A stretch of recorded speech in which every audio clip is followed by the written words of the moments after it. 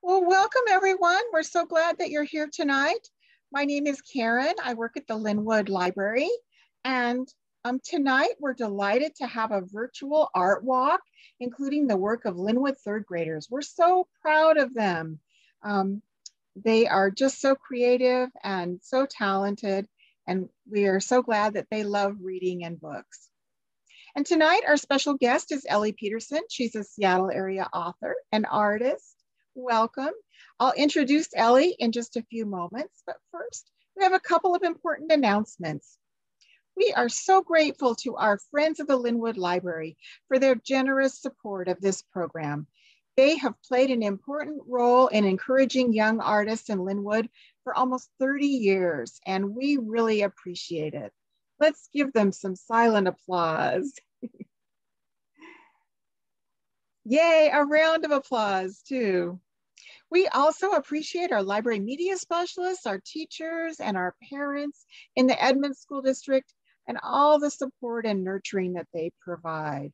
Let's give them some applause too. Yay. And now a housekeeping item or two. To make it easier for everyone to hear and to eliminate the background noise, your mics will all be muted. But if you like, you can put questions for the author in the chat and um, Natalie and I will um, ask them as time permits at the end of Ellie's presentation. And so I should introduce Natalie. We have additional Sno-Isle Library staff with us today to help run the program. My co-host is Natalie. Say hello to her. And she and I will be monitoring the chat. The chat function is typically at the bottom of your screen. If you click on it, you can send a message to the panelists or you can also send a message to all the attendees and the panelists. Um, you can um, send a chat if you have any concerns or if you need help with any of the Zoom functions today. This event it is being recorded for later viewing on the Sno-Isle Library's YouTube channel. Just to let you know, if you send a message in the chat tonight, um, your chat will be included in that recording. All right, let's get started. We are so pleased to have STEM author Ellie Peterson with us tonight. Ellie has written The Reason for the Seasons, It's a Round, Round World, and she's written some other books too. We, she's going to share more about her artistic inspiration and how she creates her books. And I can hardly wait to hear what she has to say. So please welcome Ellie Peterson. Hey, thank you. Thanks, you guys. And I have to tell all you kids out there who made your posters, I looked at all of your posters when they were posted on Facebook. They were amazing. So I tried to comment on every single one of them. I hope that I did. Um, I thought that they were so creative. I, I've read a lot of the books that you guys had made posters for, and I was really just surprised and impressed with some of the scenes that you depicted inside, different takes that you took on the um, kind of the themes and topics of the book. So nice job, everybody. Um, I'm really glad to be here. Thank you very much, Sno-Isle Libraries, for having me here. Uh, I have um, always, always had a, you know, deep and abiding love for libraries when I was a kid. Um, my mom was working on her GED and she would take us to the library and she'd work on her GED and we'd go off to the kids section of the library and just curl up with a stack of books on the, the window seat there. And it still holds a very special place in my heart. So I think the work you guys are doing is phenomenal. Um, so I wanted to share with you guys um, a little presentation here. And what I'd like to talk to you guys about today is how art and science meet. Um, once again, these are my books. So the reason for the seasons and it's a round round world are two books that I have both um, authored and illustrated. And you guys might know what that means. So uh, being the author means that I write the words and being the illustrator means that I make the pictures. And then over here, Bea's Bees, there we go. Now we have presentation mode. This is a book that I illustrated that's authored by um, a local author, Katherine Pryor, who um, um, has done the book Sylvia Spinach and Zora Zucchini, which perhaps you have heard of. Uh, so being an author and an illustrator, um, and a science educator might not seem like they have a lot in common. They're kind of two really different professions from a lot of people's perspectives, right? Somebody who's making pictures for books, but is also going around in her lab coat and teaching people science. Hmm, doesn't seem like it would have a lot to do with each other. Um, these are some of the kids that I teach on a daily basis. This is kind of back when we're in regular school and not wearing masks and we can be at lab stations close to each other. It almost looks a little weird right now with what we're accustomed to.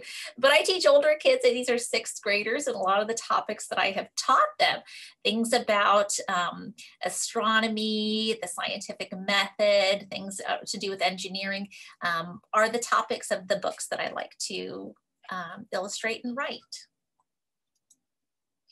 So how did I get into both science and art? It started when I was a kid, you know, a couple things about me besides my, you know, time spent in a library when I was a kid.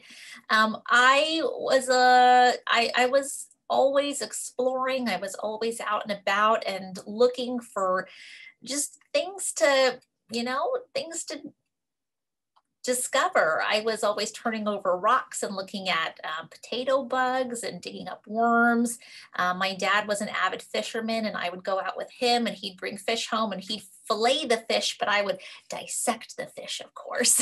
and I loved to draw. Every single day I drew, and I drew a lot of things that, um, you know, maybe you guys like to draw characters. I like to draw clothes. I like to draw houses and buildings, but I did a lot of tracing my favorite characters. I traced a lot of Snoopy and Garfield. Those were favorite characters of mine. And um, I have to say, you know, if anybody ever tells you, oh, well, you're tracing that, that's not really making art, that's absolutely not true. Uh, tracing is a wonderful way to learn how to draw. So don't ever feel like you're not allowed to trace something. Now, it's great to branch out, make your own characters too, but I think that tracing is a perfectly acceptable thing to do.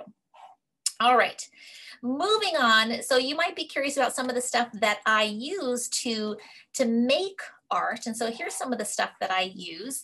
Um, I do some traditional art where I use colored pencils and watercolor paints, as you can see in some of these images. Um, and I, as you can see here, I have a big light pad that I use for tracing, just like I talked about. So sometimes if I draw something just right and I don't want to have to change it anymore, I'll just trace it. Makes it a lot easier. I don't have to keep doing it over and over again. Um, but more and more, a lot of my work is becoming digital. So I have an iPad that has a program called Procreate that I love to do illustration on. And my next book that comes out, How to Hug a Pufferfish, which will come out next winter, um, of 2022 was all done uh, digitally. So that's been really fun for me to learn and explore with. Maybe you guys do some digital art too on your own with different programs like Paint or things like that. Um, so you've seen some things about my art side of my life and my science side of my life and how I came to fall in love with both. But what do they have in common? Well, what they have in common are powers of observation. Now, I want you to think about what does it mean to observe? What are observations? And if you want to put in the chat what you think an observation is, I'd love to see what you think. What does it mean to observe something? What are observations? So you can start putting your ideas in the chat about what that means. Something that is important for both science and art. Okay, observation. Let's see if there's any ideas in there. Anything yet? I don't have anything yet. Anybody have any ideas? What does it mean to observe something?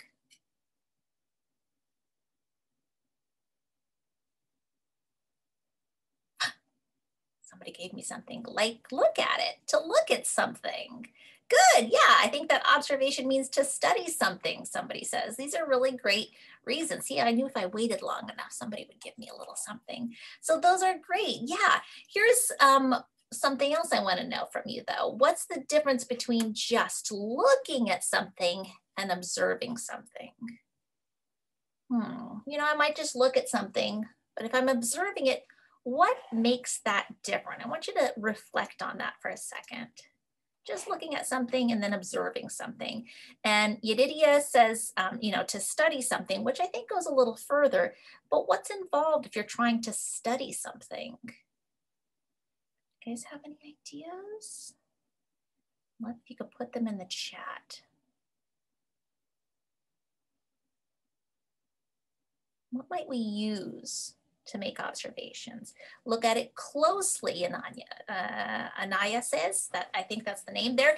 Look at it closely. Yeah, so you're going to look really closely and maybe you're going to start noticing some of the details there. Is it only using your eyes? Do you have to just look to observe something or are there other things you can use to make observations?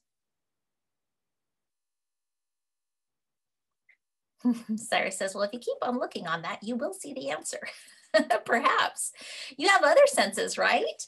So yeah, you could look at it closely with tools. Oh, I'm so glad, Cindy, that you brought up the tools because we're going to be talking about tools that can help you make observations. Write it down, make some notes. That's great. Yes, observe, learn, made notes. That is really helpful. And keep in mind you have other senses too, right? So not just seeing things, but you might smell something, you might hear something. It might have a texture that you feel as well. Okay, sometimes observations include taste, but really let's leave the taste just for things that are food, right? we don't need to observe everything by, by tasting. Like, hmm, I wonder that tree bark, I'm very, very interested in observing it. Don't go and look at it, it's probably not a good idea. So powers of observation, we hear both for art and for science. It's the ability to notice and pay close attention to things. So we might say something like, oh, the author's excellent powers of observation are evident in the book's detailed descriptions. Or we might say the scientist's powers of observations were useful for keeping meticulous field notes. Oh, somebody mentioned notes, right? Taking notes on something. Yes, so, hmm, how do we do it? How do we make good observations? How do we use those powers of observation? Well, here are some things that I encourage you to ask yourself whenever you're making observations, whenever you're trying to study something closely and learn more about it so that you can draw it better or just know more about it. Ask yourself, what do I notice? What would I happen? What would happen if I got really big and kind of just imagine this from the, a huge perspective, or if I got really tiny and was the size of an ant, what would that look like if I was like the size of an ant from my perspective? How would you describe what you are seeing or hearing, right? We talked about other kinds of senses involved. And what new information can I uncover? And that's where the other tools might come in handy to help you uncover some other information. So, whoa, did I scare you with that? Hold on, I better stop. Woo, let's take a pause there. Sometimes bees and wasps show up on a screen and everybody goes, whoa, what the heck? Hey, Ellie, don't do that. So here's what I want us to do next. I'm going to actually um, use bees as an example of something that we can observe from a scientific perspective, but also an artistic perspective. And the reason I bring this up is because just a second. That's what I had to do in um, Bea's Bees. So I had the story that the author gave me, uh, which is about a girl who goes to her city park and she starts seeing there that the bees um, are disappearing and she doesn't know why. And she wants to learn more about what's happening and see if she can save them. Um, so for me, I wanted to know that I was depicting the bees still pretty accurately, like scientifically speaking. I wanted them to not be too cartoony. I wanted them to be somewhat realistic, um, but I still wanted to have kind of my own artistic take on it. So I want to show you guys some of the things that I explored and learned in that process. So I'm going to go back to the picture of the bees and the wasps. I hope everybody's okay with that. Here we go. All right. So what I want you to look at here, okay, so we've got bees on one side and wasps on the other side. And I found that a lot of people don't treat them differently. A lot of time they call everything that is black and yellow and flies with wings and make, make a zippy sound, they all call them bees. They say a bee stung me, a bee flew in the house, a bee did this, a bee did that. And they're not always bees. A lot of times they're wasps. Now, what are some observations you can make, things that you see that might show you the difference between bees and wasps? You can put it in the chat if there's anything that you're noticing that's different between bees and wasps. Because here's some pretty significant differences here. Now feel free to put in the chat what you see there. Oh, Cindy says bees look furry. Yes, they do. Notice they have really fuzzy bodies, okay? Um, somebody says their wings are different. Yeah, you can notice that these, so their wings uh, on the wasps are a little bit narrower and longer Wasps are long and bees are short. Yes, wasps tend to have longer bodies and bees tend to have kind of shorter, kind of fatter looking bodies. Okay. Anything else that you noticed about the differences between them? We talked about the fur. What about the patterns on them? Did you see any differences in the patterns? Yeah. Okay, good. Yeah, you might have noticed that we have some kind of basic bold stripes on the bees, just a pretty clearly alternating pattern of yellow and black. On the top is a bumblebee and on the bottom is a honeybee, a European honeybee. Whereas on the wasp, we're seeing kind of more diamonds and dots and things like that in the, in the patterns. I also see here that wasps have long antennas and that is true. You're seeing some examples of wasps that have long antennas. All right, so we've made some observations that help us understand the difference between a bee and a wasp. And if I was going to draw this, I would have a better idea of how to more accurately represent a bee. I would want the body to look really fuzzy and kind of be shorter and fatter and wider. Um, I would want to make sure that I didn't have any patterns in the black and yellow. I wanted it to be just kind of bold black and, and yellow stripes with maybe shorter wings and shorter antenna, like you guys have pointed out. But Oh yes, wasps have a thin waist. That's true. That segment between their thorax and their abdomen is very, very small. It's like that on the bees also, you just can't tell that it is because of all the fur on their bodies. All right, so now let's narrow down on the bees and let's make some observations just about the bees.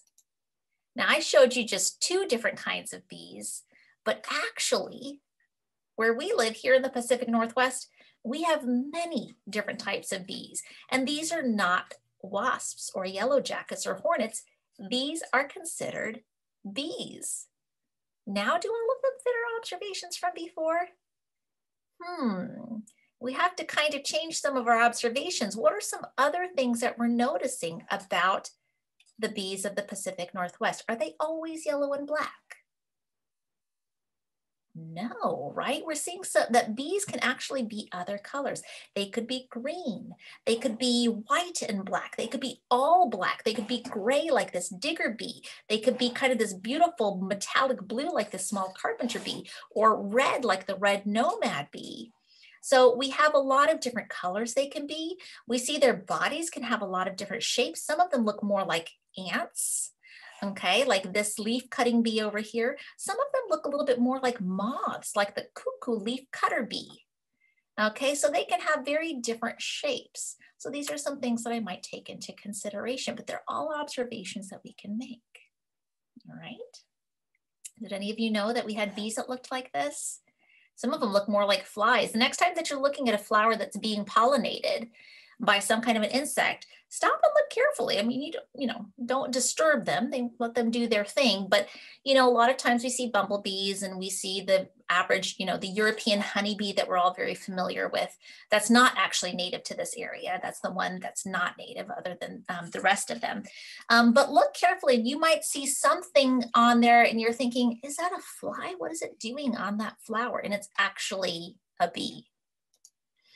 Now, one of the things I said is, okay, what do I notice? But now let's talk about getting small. So bring yourself now to the level of a bee and think, if I was really tiny like a bee, how would things look to me? Okay, maybe, you know, petals flower petals that are hanging down would look more like curtains to you, right? Maybe the stems of flowers would look more like tree trunks to you. And you might notice some other kinds of structures if you get to the level of a bee. You might notice that, oh, they have these like long tongues called proboscises that stick out. Bumblebees actually have longer tongues than any other kind of bee does, which is why they can pollinate some kinds of flowers that other bees cannot, which is really cool. Okay, if you get down on the level of a bee, you might notice things like, oh, they have these pollen baskets on their legs, right? They've got these big lumps of yellow. Have you ever seen those? Have you ever seen a bumblebee flying around with big pollen baskets on its legs? It seems like it shouldn't be able to even fly with those heavy things on its legs, but it actually can. What it does is it mixes its saliva with the pollen. I know this sounds kind of gross, and the nectar, and then it packs it onto its legs. It's so tightly packed onto that to the legs. I've read that actually tornado force winds will not tear it away. They actually have to kind of chew it off once they get back to the nest. And then it's used to help feed the larvae, which are kind of the baby bees that are developing. But these are things that, you know, the size of these things, that they're grainy and kind of sticky like this, is something you might not notice if you weren't on the level of a bee. Okay. And we talked about getting super duper small, like getting to the level of a bee, being tiny like a bee is. But what if you got even bigger and looked out over a wider space, like you were a giant and tried to learn something? Well, you might make some observations about, for instance, where bees like to live um, what kinds of flowers bees like best, the places that bees are avoiding. Um, this is from an article where they found in, um, in England, they found out that community gardens, kind of these gardens where people can um, borrow a plot of land and plant vegetables and things like that, that bees liked those areas more than they liked you know, house gardens more than they liked being in parks and more than they liked even being in the countryside. And if you kind of zoom out and take a big look at it like this, you can see there's probably a lot of variety of flowers there from all the different kinds of vegetables and fruits people are growing right? So that's pretty amazing right there. That's something that you only kind of understand when you take a big look away. It's an observation that you can make. Okay. And how would I describe what I see or hear? That was one of the other questions. So I wanted to show you guys how um, a bumblebee pollinates a flower. I looked at a lot of videos and pictures of bumblebees pollinating flowers to kind of get an idea of what their bodies were shaped up. And I'm gonna just play this for you.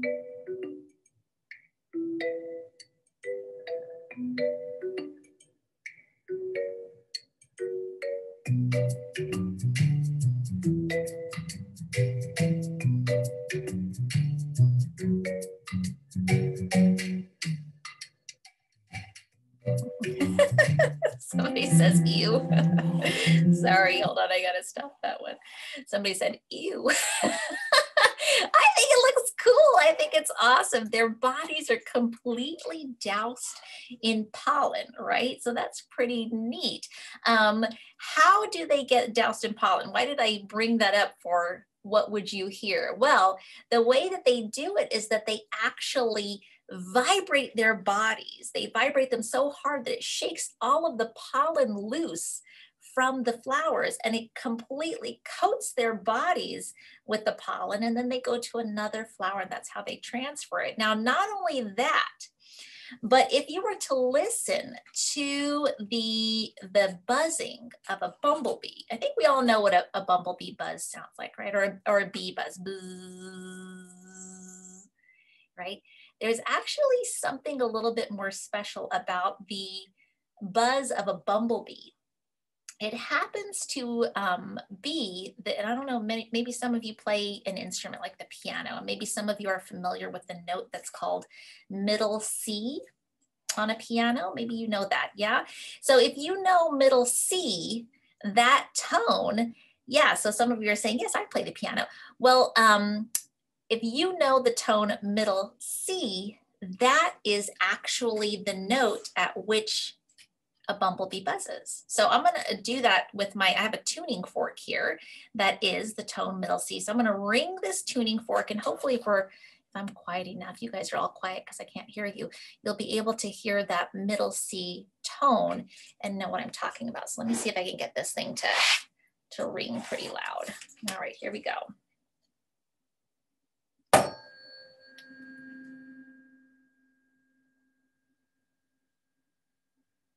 Could you hear it? Buzz. That is the tone that is a buzz for the bee. I'll try to do it one more time. I don't know if I'm going to get it loud enough, but try to make your area quiet where you are too so you can hear it. Here we go. One more time. I'll try it.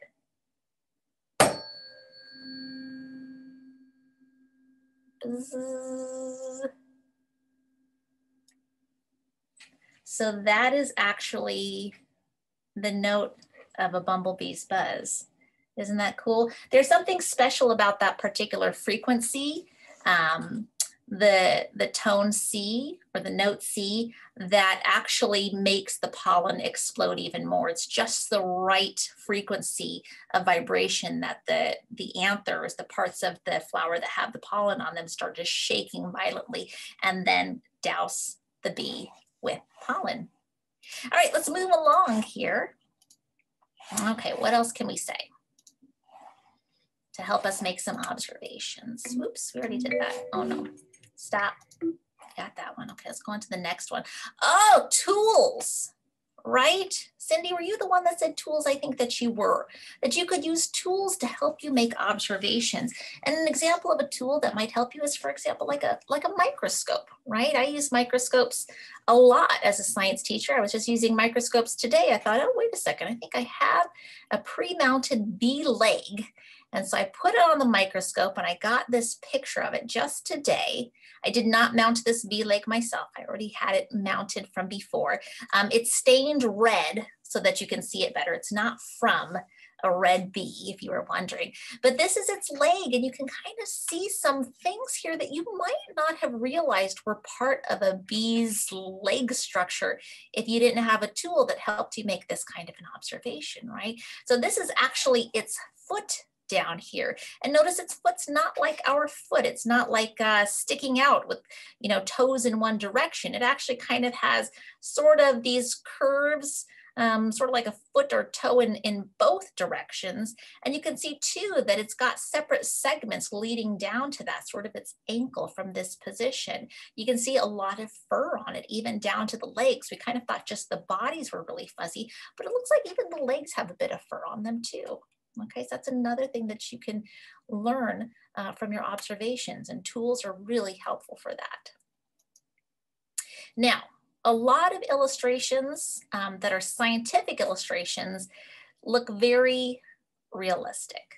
Okay, so you can see these are some examples of scientists who made illustrations that are very realistic looking. Up here on the top left, these are flowers from Carl Linnaeus. And so he was a scientist a long time ago that did a lot to study botany.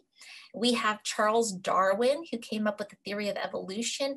He looked at the beaks of finches and he made all sorts of meticulous drawings to help him better understand his observations about the beaks and how, you know, finches with a larger beak actually had advantages over other finches because they could eat larger seeds and nuts.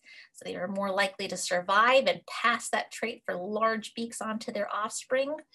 And then here's where science kind of starts meeting art. At the bottom here, Maria Sibylla Merian um, was a, a, an artist um, who did scientific illustrations, but they really um, bordered on being more than just scientific illustrations. You can see this is something like I would very much hang something this beautiful on my wall. There's just kind of the expression of color, the way that the, the butterflies and flowers are arranged. There's something really um, just uh, harmonious about this, the way that she's arranged it. And so this is kind of a place that I really aspire to in some of my art. Maybe not to be this realistic, but to have touches of realism and have them arranged in a way um, or depicted in a way that feels artistic. Um, so, on that note, I was thinking maybe I could do some picture book illustrations with you. I could show you guys how I would draw a bee or how I did draw a bee for Bea's Bees. And then if you guys want to do some drawing together, we might have time for a little drawing together as well, if that sounds okay. I'm hoping it does. I can't hear your responses, and I'm going to guess that that's okay with you. So what I'm going to do right now is I told you guys that I'm doing a lot of my um, illustrations um, on my iPad and I can actually share my iPad screen with you and you guys can see me draw. And if you wanna draw along with me, you're welcome to get a piece of paper and a pencil or a pen and an eraser. So if you want to, why don't you go get those items right now and I'm gonna get my iPad hooked up to the screen. Okay, some people say that sounds like fun. Yes, I will do it. Yes, okay, good. I'm glad to hear that. All right, let me get this connected to my iPad. There we go. Okay, and I put a picture of a bumblebee up in the corner there. Um, just kind of be my inspiration for this, okay? And we'll draw this together and then we could maybe do some, um, some fun bees together as well. All right, so when I was making my illustrations for Bea's Bees, some things that I tried to think about is, you know, a lot of people are scared of bees. This is a fact. They're really important. They're very, very, very important for us to have the food that we have, right? Because they pollinate the food that makes the fruit and vegetables we like to eat. Um, but a lot of people are afraid of, you know, getting stung. And when a bee flies in, they kind of freak out. So I wanted to make sure that they looked kind of realistic, but I wanted them to look pretty sweet too. Uh, so I knew that I wanted to still focus on the three parts of their body. You guys might know what those three parts of the body are. I kind of mentioned a couple parts of the body earlier, but we have over here, this is the head. And then this part that's kind of got their chest is called the thorax. And then this portion back here, this is called the ab, oopsie, abdomen. Okay. You guys know they have six legs and the hind legs are the largest. And you can see that um, this one doesn't really have any pollen on it right now, but there would be space back here for the pollen basket. And since this book is a lot about how bees help us through their pollination, I wanted to make sure that I included a pollen basket. Now you'll notice, you know, everybody's like, draw the stinger, draw the stinger, Ellie. they don't really have a very prominent stinger. And so you'll see my bees in my book, they don't really have a stinger that shows because you can't really see the stinger here. Okay, that's, you know, maybe there's kind of like a, just a, oh, sorry, uh, there's just like a dark spot right here, but that's, that's, I don't even know if that's a stinger, just kind of part of the shadows in the background. All right, so now I'm gonna start with just some very loose shapes that represent the head, the thorax, and the abdomen, okay? So there we go. It's head. And there's the thorax. There's another lump. And here is the abdomen. The abdomen's kind of curved actually. So I wanna make sure that I have kind of curve. So here's just three circles that I'm starting with. And notice I'm kind of loose and sketchy. I don't really care if it's too messy. I'll just make darker lines over the lighter lines later, okay? All right. Okay, now um, part of it looking really cute are the eyes, right? You cannot have, you know, beady, you know, scary bee eyes and have everybody think, oh, that's so cute. No, they've got to, they've got to look sweet. So what I did is I wanted to make it have a sweeter eye. So I put a little kind of a cheek right here and then a big curve here. And I did those kinds of eyes that you see a lot in kind of um, chibi characters, where it has like the um, kind of like here's the dark part up here, and a couple little circles for uh, spots of light on the eyes. And then I just filled in the rest of it. And some people like to put like much bigger, the chibi characters usually have much bigger spots of light on their eyes, but I didn't want to get too crazy with it. But notice, I mean, I kind of kept that almond shape of the eye. Also, it's a little bit curved in the same way and it's fairly closely positioned. Okay. The antenna I thought were just, I mean, the antenna are, are darn cute. You can't say no to that. So I decided, oh, we can make those antenna about the same, right? What do they look like? They look like, like L's on their side. So we just put some antenna on there, okay? Um, bee mouths, they have mandibles. They have like little jaws and um, they're not the cutest.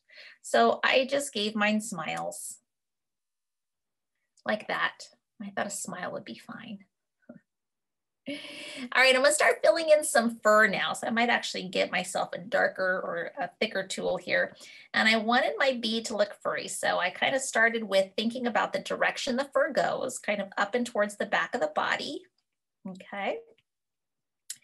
And here, it kind of seems a little bit longer and shaggier on the back. You know, maybe I could actually even make that kind of like a little bit silly in the front. Maybe he has kind of like a little hair sticking up in funny directions in the front. Would that really happen on a bee? Oh, probably not, but kind of looks cute like that. Okay, so now I'm gonna kind of make it a little bit extra furry and maybe add some shagginess down here too. All right, kind of get the underside of the body. All right. I'm gonna think about where the stripes go. Oh, there's one there kind of high up on the thorax. And another stripe down here. Oh, and it's got a fluffy white tail as well. Okay. And then I'm gonna think about the wings. Now, I don't like to get too fancy with the wings because they, they're hard. So I just kind of do a loop and a loop. Okay, they're about similar, pretty close. And for the legs, I'm gonna have the two shorter legs up in the front. Leg, leg. And then another bigger leg that goes towards the back, like this one. Yeah. Now, this looks kind of rough right now, I know, but once I have things a way that I like them, then I'm gonna try to just trace over the top of it. So I'm gonna make this a little bit lighter and go over the top of it with just some darker colors or a darker um, pen that I like, okay? So I'm gonna kind of switch to maybe a marker here. And now I'm going to just keep the lines that I like and I won't retrace the lines that I don't like. Okay, so these are lines I like. And you can do the same thing, you know, on a sunny day, you can hold it up with a piece of paper over it up to a window. That's a good way to trace things. I think that smile needs to be even broader. And so I'm just gonna do the hair without the shape of the body underneath. Okay, get some legs in here. Get some antenna. I think maybe I want the antenna to be a little bit bolder than I did them before. You can change your mind as you're doing it, that's okay and a loop and a loop now. So I'm just gonna show the one in the back like that. I'll just kind of leave some hash marks here to show where the stripe would be that I'm gonna be putting in with some color.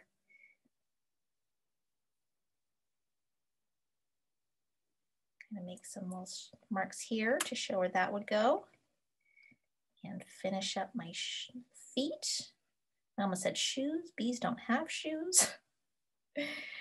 Might even do it like the bee leg that I saw where it had the feet that kind of go in both directions like that, just to be a little bit more accurate about it. Okay, and now we have a nice little bee sketch.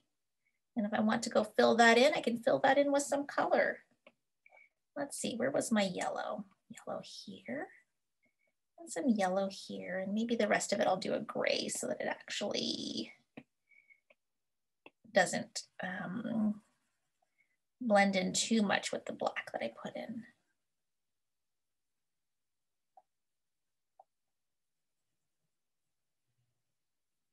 And there we go. We have a little bee that we made. Ta-da! I told you I'd show you some cute bees that you can make because maybe you don't always want to make a bee that looks like this, right? All right, so let's do that too. Let me just move this grouping off here to the side, make that a little bit tinier. And let's make some, just some cute bees because I always love making cute bees. Here's my favorite way to make a bee. Oopsie, that's too big. All right, you're just gonna make an oval. All right, now I don't know why, but for some reason, whenever you put eyes close together and low on something, it just automatically looks cute. I, I smile. Look, it's automatically cute. It's a circle and two dots and a, and a C shape. And we made something cute. I don't know how it happens, but it just does. All right, now we're gonna make it a bee, right? So it's gonna need some, some doodly boppers. Some people call those antenna. But if you're making a bee like this, we call them doodly boppers. And then again, the wings I'm not gonna get fancy with because this is a little cute bee. But I like to give it little bee, the little wings that look like it could never, ever, ever hold that bee up. And we need to give it some stripes. And so we don't want to do just straight lines down because if we did straight lines down, then it would look like the body was really flat. So we're going to actually use some curves, C shapes like this. And ah, shoot, why not? We'll put a little stinger on there because I know you're all thinking about it. And then all we had to do is one, two, three. I'm just going to show the three legs that would be closest to me. And ta-da, we got a bee. And you could do all kinds of bees like this. They don't have to be happy bees. They could be devious bees, right? It could look like they're coming out of nowhere. Maybe I'll make the legs go like this so that they look like they're speeding by and the doodly boppers will go like that. All right, all kinds of different ways. I'll do one more for you and then we'll wrap it up here. How about I do, oh, um, a very content queen bee. She's gonna be like this. All right, we'll give her a little crown and um, maybe she'll be carrying like a little, what do you call those things? A scepter? Yeah, scepter give her some eyebrows. She looks kind of weird without eyebrows. And her royal stripes. She gets to have a big stinger and there. Maybe we'll give her like some sparkles around her wings because she's just so special.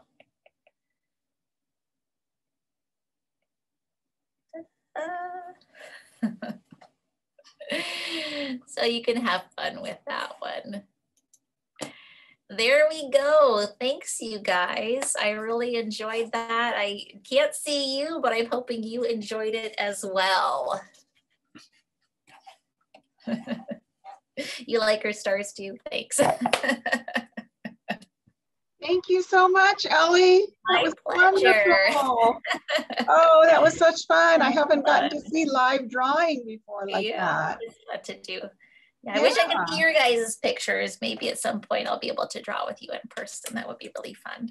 Oh, that would be great. uh, uh, let's see. So um, we have a thank you slide that Natalie is going to put up in just a moment. Um, or, or two.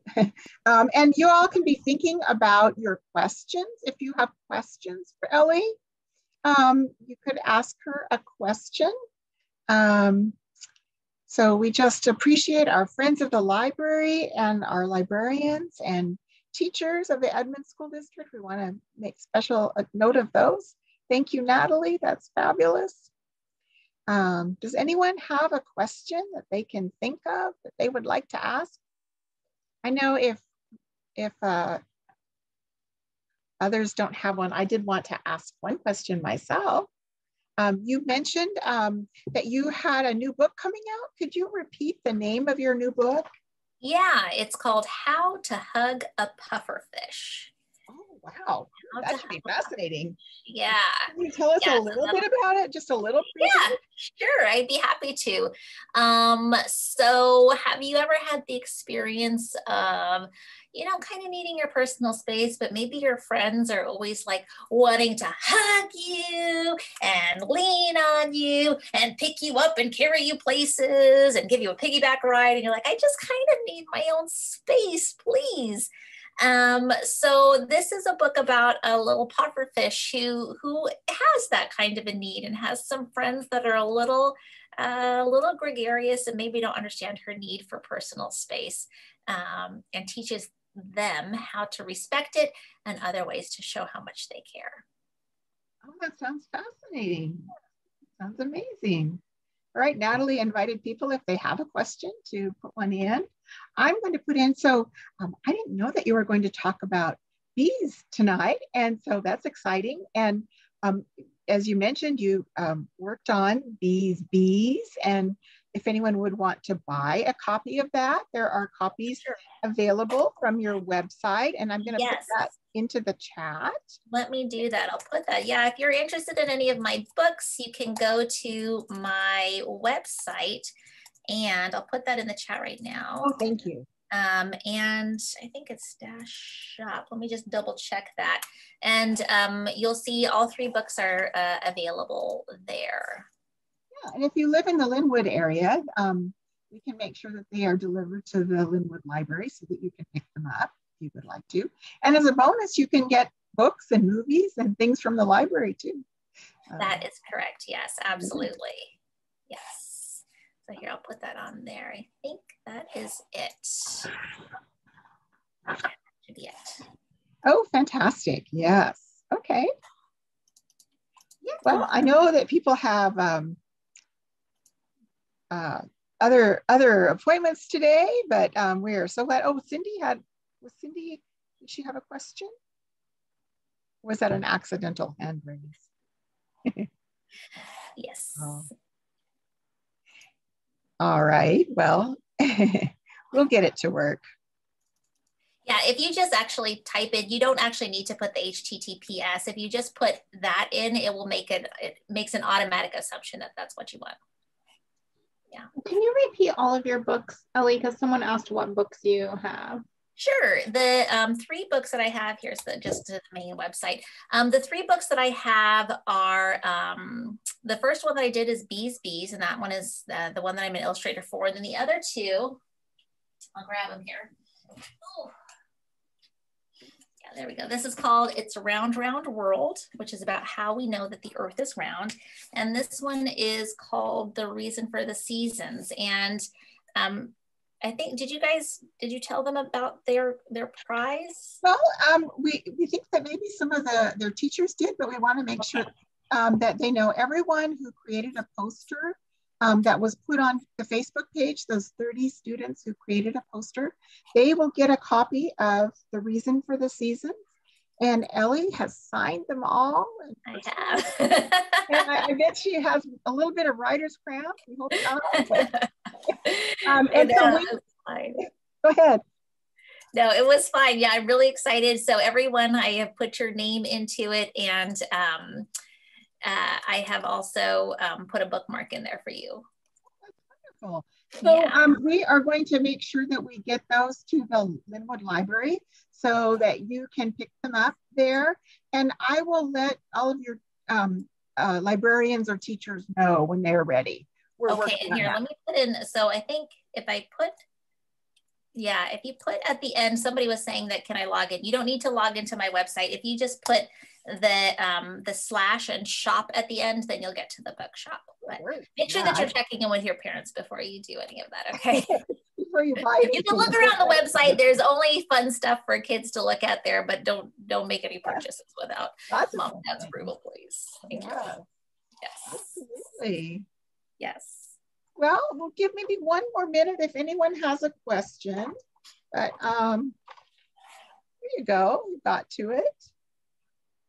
Um, it's just been so much fun. We've really enjoyed it. And um, thank you so much for um, paying such careful attention to the students' art and making comments on it. And that's really fun. I, I guess I had another question if it's not too much, if I'm not asking too many questions. No, but, I don't mind at all. Um, so uh, tell us uh, what, what grades or subjects you teach?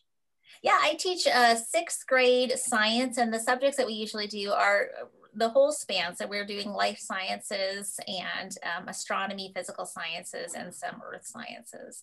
Wow. Well. That's so, impressive.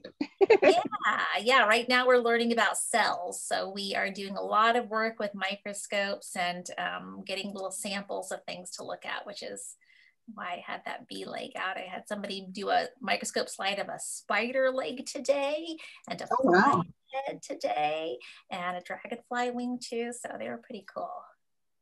That's wonderful. So if um, I think we, I don't think that our um, our raising the hand feature is is enabled today. I think if you if you have a question, you do have to put it in the chat.